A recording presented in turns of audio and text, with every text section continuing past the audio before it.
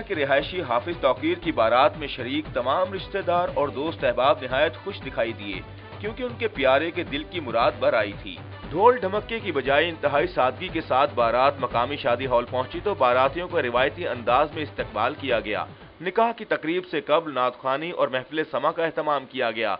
हाफिज कुरान जोड़े के रिश्ते अजदवाज में मुंसलिक होते ही हॉल मुबारकबाद के पैगाम से गूंज उठा। नौ ब्याहता जोड़े के दमकते चेहरों से मुसरतों के फूल बिखर रहे थे। दुल्हन आयशा का कहना है कि वो बहुत खुश हैं कि उन्हें शरीक हयात भी हाफिज कुरान ही मिला। ये तो अल्लाह की मर्ज़ी ना मैं क्यों इनकी करूँ कि भी या छोटी हो या बड़ी हो।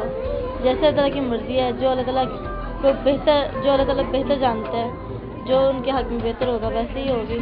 कहावत है कि शादी का लड्डू जो खाए, वो भी पछताए, और जो ना खाए, वो भी पछताए। स्टेज पर विराजमान नौ ब्याहता जोड़े की खुशी दीदनी थी। हाफिज तौकीर का कहना है कि वो अपनी शरीक हयात को हमेशा खुश रखेंगे।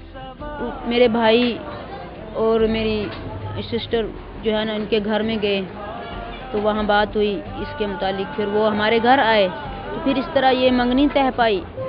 फिर निकाह हुआ दो तीन महीने पहले मेरा निकाह हुआ था।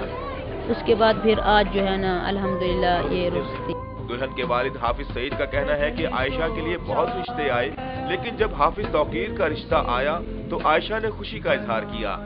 तो वो कुछ ऐसे रिश्ते आए कुछ जमींदार थे या कुछ ऐसे थे। तो वो तो ठीक थे लेकिन वो कहती थी कि जैसे मेरा कोई इलम वाला हो। तो इसलिए उसने उसको कबूल नहीं किया। लेकिन ये जब रिश्ता आया तो हमने इसको बताया कि वो भी आलम है। हाफिज भी हैं। तो उसने कहा कि जैसे आपकी मर्ज़ी। नौ ब्याता हाफिज कुरान जोड़े का कद तो बजाहिर छोटा है, लेकिन उनका अज़म आसमानों को छू रहा है कि वो ताहयात एक दूसरे को खुशो खुरम रखेंगे और अपने दरमियान नफरतें पनपने नहीं देंगे।